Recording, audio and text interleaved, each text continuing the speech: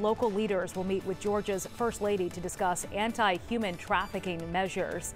This is an issue that has been a priority for First Lady Marty Kemp for months now.